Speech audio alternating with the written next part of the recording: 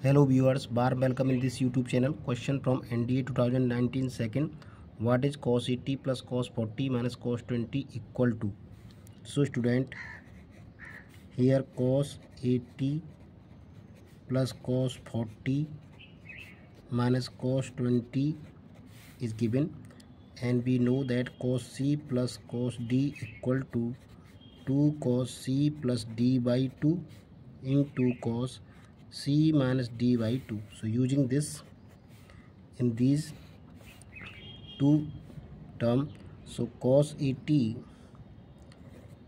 plus cos 40 so 2 cos 80 plus 40 by 2 into cos 80 minus 40 by 2 minus cos 20 2 cos this is 120 by 2 into cos this is 40 by 2 minus cos 20 2 cos this is 60 and this is cos 20 minus cos 20 and 2 cos 60 is 1 by 2 into cos 20 minus cos 20 2 2 divided by 1 10 so this is cos 20 minus cos 20 and these are negative and positive. So cancel.